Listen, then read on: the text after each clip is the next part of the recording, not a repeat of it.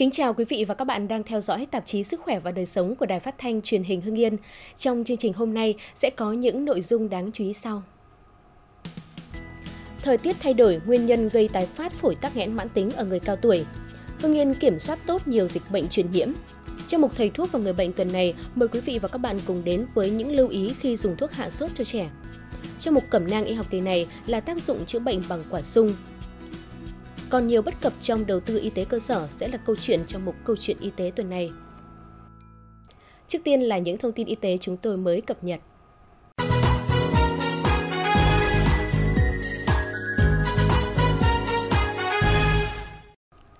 Thưa quý vị và các bạn, mưa ẩm kéo dài những ngày qua là nguyên nhân gây nên tình trạng tái phát bệnh phổi tắc nghẽn mãn tính ở người cao tuổi. Ghi nhận tại khoa cấp cứu Bệnh viện Phổi Hưng Yên, khoa đang tiếp nhận và điều trị hơn 30 bệnh nhân, chủ yếu là các bệnh nhân cao tuổi, mắc phổi tắc nghẽn mãn tính, viêm phổi, viêm đường hô hấp trên. Trong đó có trường hợp bệnh nhân nhập viện lần thứ hai trong năm. Với thời tiết mưa ẩm kéo dài, sức đề kháng của người bệnh kém sẽ dễ bị nhiễm virus, vi khuẩn, gây viêm nhiễm hô hấp, làm tăng tình trạng co thắt phế quản, tăng dịch nhầy trong đường hô hấp, do đó bệnh nhân bị khó thở nặng hơn. Bệnh nhân mắc phổi tắc nghẽn mãn tính sẽ phải đối mặt với 7 đến 10 lần tái phát bệnh trong một năm đặc biệt khi thời tiết thay đổi giao mùa, làm việc gắng sức hay cơ thể suy nhược. Những ngày gần đây, tại Bệnh viện Sản Nhi, mỗi ngày có từ 20 đến 30 trường hợp các cháu đến khám và điều trị với những dấu hiệu của bệnh tiêu chảy cấp. Bệnh nhân đến khám với các triệu chứng điển hình là nôn, tiêu chảy và sốt nhẹ. Ngoài nguyên nhân gây bệnh do một số loại vi khuẩn, thì nguyên nhân chính là do virus rota. Do vừa bị nôn và tiêu chảy nhiều, trẻ bị nhiễm virus rota rất dễ bị mất nước, phải nhập viện để truyền dịch. Nếu không được chăm sóc kịp thời đúng cách, bệnh sẽ ảnh hưởng nhiều đến sức khỏe của trẻ, thậm chí có thể dẫn đến tử vong. Thông thường bệnh kéo dài từ 5 đến 8 ngày. Thời điểm này, khi có mưa nhiều, nguy cơ mắc bệnh tiêu chảy do rotavirus là rất lớn và khả năng lây lan cũng mạnh. Các bậc phụ huynh cần đặc biệt chú ý để phòng bệnh cho trẻ. 6 tháng đầu năm, ngành y tế Hưng Yên đã kiểm soát tốt nhiều bệnh dịch truyền nhiễm. So với cùng kỳ năm 2017, tỷ lệ người bị mắc thủy đậu giảm trên 57%, số ca mắc là 223, quay bị có 95 ca mắc, giảm gần 57%. Một số bệnh truyền nhiễm khác, số người mắc ít như sốt xuất huyết 2 ca, chân tay miệng 36 ca, các bệnh truyền nhiễm có vaccine phòng như sởi, ho gà, viêm não Nhật Bản xuất hiện lẻ tẻ không có dịch bùng phát trên diện rộng. Thời gian tới, Trung tâm Y tế Dự phòng tỉnh và các cơ sở y tế sẽ đẩy mạnh việc thực hiện tốt chương trình tiêm chủng mở rộng nhằm phát huy tối đa các biện pháp phòng bệnh chủ động bằng vaccine, nâng cao tỷ lệ tiêm chủng, tăng cường tuyên truyền các biện pháp phòng bệnh rộng rãi trong nhân dân. Do tích cực đầu tư cơ sở vật chất trang thiết bị, bồi dưỡng chuyên môn nghiệp vụ cho cán bộ y tế. Vì vậy, trong nhiều năm trở lại đây, tỷ lệ người dân đến Trung tâm Y tế huyện Khói Châu khám chữa bệnh bằng bảo hiểm y tế luôn đạt cao. Trung tâm Y tế huyện Khói Châu được công nhận là bệnh viện hạng 2 từ tháng 8 năm 2015 với quy mô gần 300 giường bệnh, khoảng 200 cán bộ y bác sĩ, trung bình mỗi ngày đón tiếp lượng bệnh nhân đến khám chữa từ 400 đến 500 lượt. Trung tâm hiện đang quản lý 141.000 thẻ bảo hiểm y tế.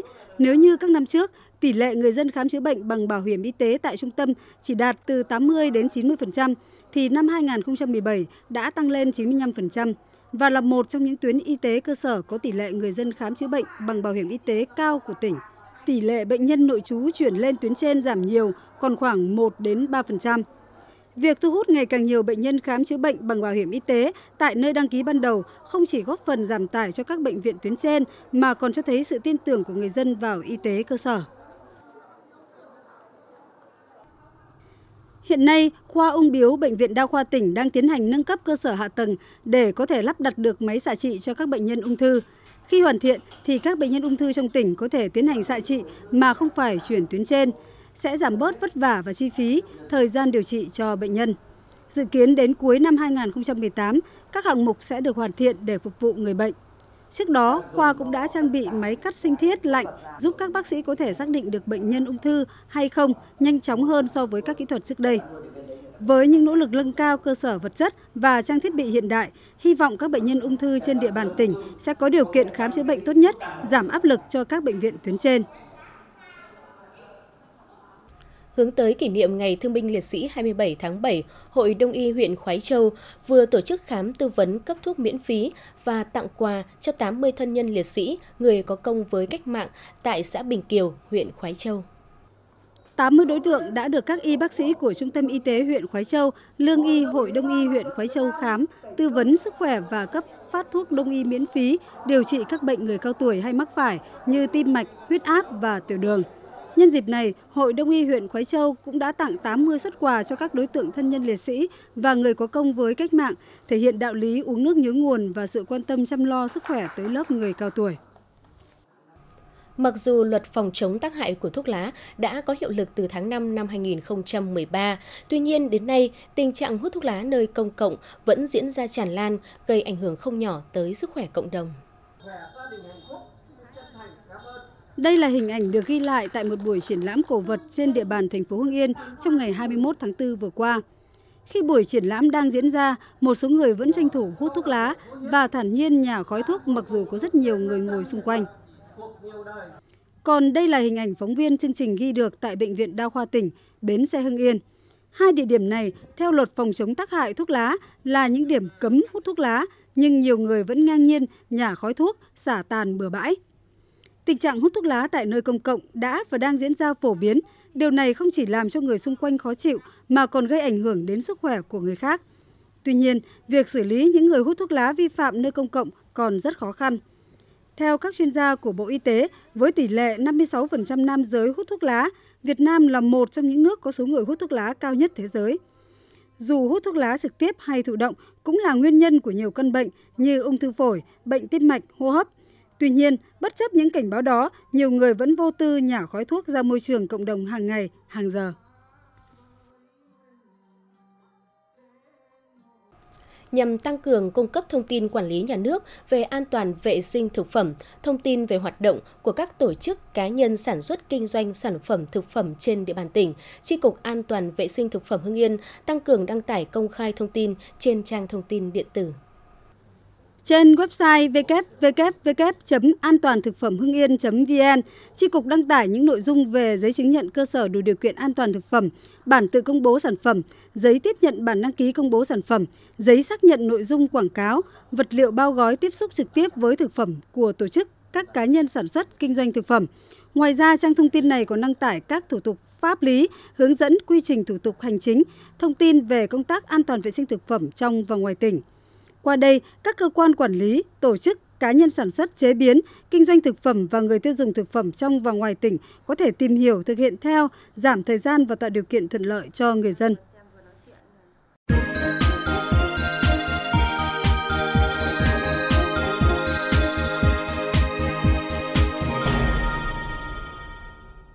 Thưa quý vị và các bạn, sốt là một trong những bệnh lý thường gặp ở trẻ nhỏ. Tuy nhiên, rất nhiều phụ huynh thiếu kiến thức khi sử dụng thuốc hạ sốt, gây nên những biến chứng nguy hiểm cho trẻ. Mời quý vị đến với cuộc trao đổi giữa phóng viên chuyên mục với bác sĩ Đào Thúy Đạt, khoa hồi sức cấp cứu Bệnh viện Sản Nhi Hưng Yên để cùng tìm hiểu về vấn đề này. Xin chào bác sĩ ạ. Thưa bác sĩ, khi nào mà trẻ cần sử dụng thuốc hạ sốt ạ? Vấn đề sốt ở trẻ em là một trong những vấn đề mà rất là thường gặp. Khi nào mà sử dụng thuốc hạ sốt thì nó lại là một cái vấn đề mà À, thực ra là nó khá là nhạy cảm tùy vào cơ địa của từng trẻ là cái vấn đề đầu tiên và cái thứ hai nữa là dựa vào những cái bệnh tật mà bệnh nền của em bé nó như thế nào thì mình sẽ sử dụng. Thế ngoài ra thì với những cái trẻ mà khỏe mạnh bình thường ấy, thì khi mà nhiệt độ bắt đầu từ 38 độ trở lên là mình đã phải tầm soát thường xuyên và nếu là 38 độ 5 trở lên thì mình đã bắt đầu phải cho dùng trẻ dùng thuốc hạ sốt. Đó. Vâng thưa bác sĩ, vậy thì những loại thuốc nào thường được sử dụng để hạ sốt cho trẻ ạ? Thì hiện tại trên thị trường thì bây giờ có rất rất nhiều các loại thuốc hạ sốt và rất rất nhiều các chế phẩm để dùng hạ sốt cho trẻ em. Thế nhưng mà về cơ bản thì sẽ được chia ra làm ba nhóm chính. Nhóm thứ nhất là các cái nhóm hạ sốt à, dạng non steroid, nhóm thứ hai là nhóm acetaminophen và nhóm thứ ba ít dùng hơn thì nó có thể là các nhóm liên quan đến aspirin. Thế thì à, các cái nhóm này thì à, nó mỗi nhóm có một cái đặc thù riêng và một đặc điểm riêng và cái này thì sẽ tùy thuộc vào cái cơ địa của bệnh nhân và cái thứ hai là tùy thuộc vào thể trạng của bệnh nhân, bệnh nền của bệnh nhân để các bác sĩ lựa chọn các loại thuốc phù hợp với cả từng trẻ. Thưa bác sĩ, phụ huynh cần lưu ý những gì khi cho trẻ dùng thuốc hạ sốt ở nhà? Có một cái khuyến cáo mà mình mình mình lên nhớ cho tất cả các gia đình có trẻ em. Thứ nhất, nếu mà trẻ sốt bắt buộc phải tầm soát cái nhiệt độ chỉ cho trẻ uống hạ sốt khi nào mà nhiệt độ của em bé từ 38 độ 5 trở lên. Còn có một số những trẻ mà có bệnh nền khác thì có thể là nhiệt độ thấp hơn 38 độ 5 mình đã phải dùng thuốc hạ sốt nhưng như thế thì bác sĩ sẽ dặn dò mình rất cẩn thận trước khi mà trẻ được uh, chẩn đoán và điều trị ở các cái cơ sở y tế. Thế ngoài ra thì khi mà điều trị thuốc hạ sốt ở nhà ấy, thì mình cũng cần phải uh, chú ý mấy cái điểm này. Thứ nhất là cái thời cái liều lượng thuốc hạ sốt là điều đầu tiên. Cái thứ hai là thời gian mà dùng thuốc hạ sốt giữa hai lần hạ sốt là như thế nào để cho hợp lý cái thứ ba nữa là nếu như trong trường hợp mà dùng một loại thuốc mà trẻ không hạ sốt được thì mình có thể phối hợp hai loại thuốc hạ sốt và nếu như mà đã đến mức phối hợp hai loại thuốc hạ sốt thì tốt nhất mình nên cho trẻ đi khám để tìm kiếm cái căn nguyên gây bệnh và ngoài ra mình có thể ờ, có những biện pháp hạ sốt khác ngoài dùng thuốc. Thưa bác sĩ, nếu lạm dụng thuốc hạ sốt thì trẻ sẽ gặp những nguy hại như thế nào? Vấn đề liên quan đến ngộ độc thuốc hạ sốt hoặc là quá liều thuốc hạ sốt thì lại tùy vào từng cái loại à, thuốc hạ sốt mà trẻ bị ngộ độc hoặc quá liều. Ví dụ như là nhóm acetaminophen à, mà mình hay dùng là efferalgan hoặc là à, Hapacol ấy, thì các vấn đề liên quan đến gan thận là những vấn đề chính. Ngoài ra thì còn có thể có các vấn đề khác liên quan thần kinh. Thế ví dụ như là các vấn đề liên quan đến nhóm long steroid, ví dụ như là sốt stop hoặc là ibuprofen ấy, thì à, mình có các vấn đề liên quan đến kích ứng đường tiêu hóa, à, viêm loét dạ dày, tá tràng, xuất huyết đường tiêu hóa. Thế còn các vấn đề mà liên quan đến cái nhóm uh, aspirin ấy, thì thường các vấn đề liên quan đến dạ dày, hành tá tràng cũng khá là nhiều. Vâng thưa bác sĩ, vậy thì khi trẻ sốt, ngoài uống thuốc thì phụ huynh có thể sử dụng những cái phương pháp nào khác để hạ sốt cho trẻ? ạ Thực ra ấy, thì khi mà trẻ sốt, cái việc mà mình dùng thuốc hạ sốt là phải cần đến nhiệt độ và mình bắt buộc phải phải phải đo được nhiệt độ của trẻ em thì mình hãng nên dùng thuốc. Thế thì khi mà trẻ sốt ấy mà chưa đến cái mức mà mình phải dùng thuốc hạ sốt thì mình có thể có một số các cái biện pháp vật lý để mà mình mình mình à, giảm cái thân nhiệt của trẻ xuống. Đầu tiên là mình để trẻ ở những cái nơi thoáng mát, rồi là cái nhiệt độ phòng mình để ở nhiệt độ phòng hợp lý, Đấy, tránh những tình tình huống là nhiệt độ phòng quá cao, nhiệt độ không khí xung quanh nó quá cao thì trẻ cũng có thể bị sốt. À, ngoài ra thì mình có thể chườm ấm cho em bé ở các vị trí đầu tiên là cổ, thứ hai là nách, thứ ba là bẹn. Đấy là những cái vị trí mà mình sờ đấy có mạch đập. Cảm ơn bác sĩ về những thông tin hữu ích vừa rồi ạ.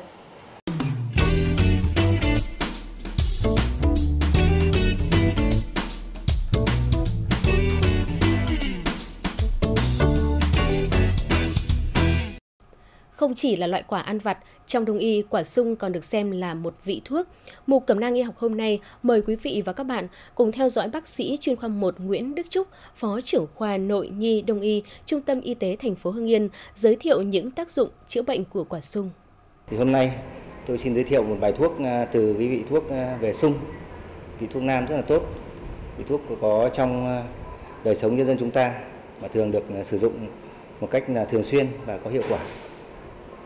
Thế trong y học cổ truyền thì là quả sung có vị ngọt, tính bình, có công dụng là kiện tỳ, ích vị, nhuận phế, nội hầu, nhuận tràng thông tiện, tiêu thủng giải độc, thường dùng để chữa các chứng bệnh như là viêm ruột, kiến lị, táo bón, trĩ, xuất huyết, sa trực tràng, viêm họng, ho, sản phụ thiếu sữa hoặc là mụn nhọt nở loét chán ăn phong thấp.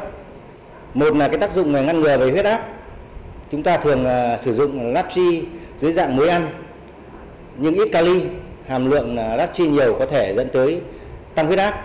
Sung là giàu kali và ít natri bởi vậy chúng ta à, là, món, là món ăn hoàn toàn có thể chống lại sự xuất hiện của những tác động của bệnh tăng huyết áp. Và tác dụng thứ hai là tác dụng để ngăn ngừa táo bón có khoảng 5 gram chất xơ trong mỗi phần à, ăn gồm 3 quả sung.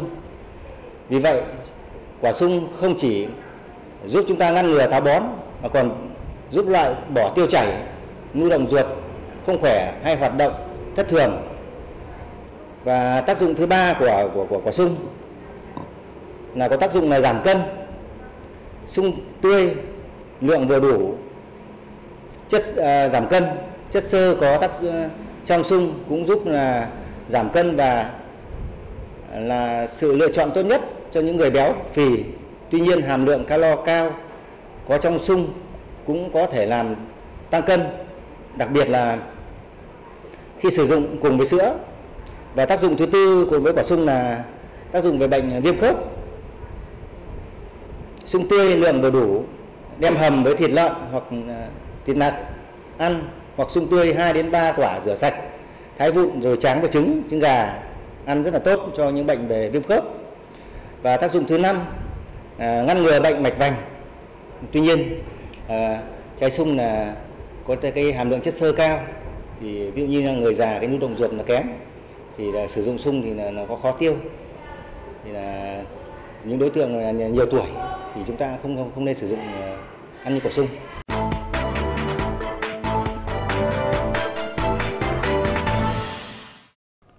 Thưa quý vị và các bạn, từ năm 2016 đến nay, bằng nguồn ngân sách của tỉnh, 38 trạm y tế xã được đầu tư máy siêu âm để nâng cao chất lượng khám chữa bệnh cho nhân dân.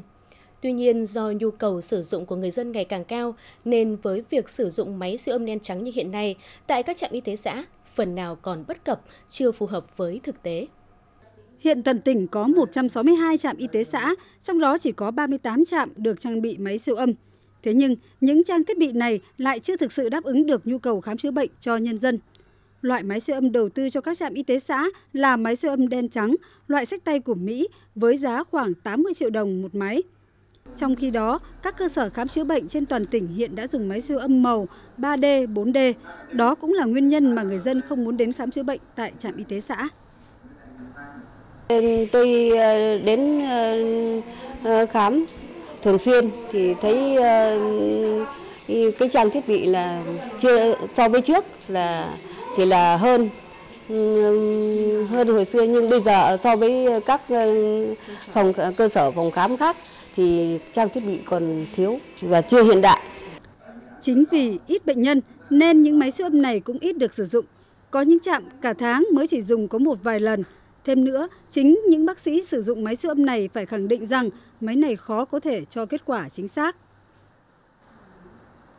Từ năm 2016 khi mình được trang bị một số các cái trang thiết bị này, thì mình, cái, cũng có, trạm y tế xã cũng có những cái trang thiết bị cần thiết để khám chữa bệnh cho nhân dân. Cái lượng bệnh nhân đến trạm cũng tương đối, tuy nhiên thì cũng không không nhiều lắm. Thực ra thì à, hiện tại thì trạm được ờ, đầu tư một cái máy siêu âm sách tay nó nhỏ thứ nhất là cái cái cái cái cái cái máy này nó cũng có những cái phần hạn chế nhất định vì nó là máy sách tay nó nhỏ hai nữa là cái cái đầu giò ấy, thì nó chỉ có một cái loại đầu giò uh, to và không có cái những cái đầu giò nhỏ để mình có thể siêu âm các cái bộ phận nhỏ như là tuyến giáp hay là siêu âm sản thì chung là siêu âm cái đầu giò này là không không đảm bảo. Con số 38 trên 162 trạm y tế có máy siêu âm đen trắng đã cho thấy việc đầu tư cho y tế cơ sở còn quá ít ỏi. Vấn đề ở chỗ là máy lại không đáp ứng được nhu cầu khám chữa bệnh cho người dân. Cả năm sử dụng máy siêu âm chỉ trên dưới 20 lần thì thực sự việc đầu tư này là chưa hợp lý. Đối với những trạm y tế chưa được đầu tư máy siêu âm thì họ mong mỏi được đầu tư hợp lý hơn. Ở đây do nhu cầu bệnh nhân đông thì chúng tôi mong muốn được ờ, cấp một cái máy siêu âm mà siêu âm màu chứ siêu âm đen trắng bây giờ thì nói thật là nhân dân người ta không không không tin tưởng người ta không siêu âm. Khi mà cung cấp thì chúng tôi ờ, cũng cũng ờ, yêu cầu sở ờ, và các ban ngành thì cho chúng tôi đi học đào tạo chuyên môn để khai thác hết cái tiềm năng của của, của ừ, nhân lực và máy móc để phục vụ công tác chăm sóc và bảo vệ sức khỏe nhân dân được tốt hơn được đặt kỳ vọng là nơi đi trước đón đầu trong chăm sóc sức khỏe ban đầu cho nhân dân và quản lý các bệnh không lây nhiễm trong cộng đồng. Song với tình trạng thưa vắng bệnh nhân như hiện nay, do trình độ chuyên môn của cán bộ y tế cơ sở còn chưa cao, mới chỉ có 126 bác sĩ trên 162 trạm y tế. Cơ sở trang thiết bị tại trạm y tế xã lại nghèo nàn, lạc hậu, thì việc nâng cao chất lượng y tế cơ sở để giảm tải cho tuyến trên là việc còn nhiều khó khăn. Vấn đề đầu tư trang thiết bị y tế sao cho hiệu quả cũng như đào tạo nguồn lực cần phải được quan tâm nhiều hơn nữa. Quý vị và các bạn thân mến, tạp chí Sức khỏe và đời sống của chúng tôi ngày hôm nay xin được khép lại tại đây. Cảm ơn sự quan tâm theo dõi của quý vị và các bạn. Xin kính chào tạm biệt và hẹn gặp lại.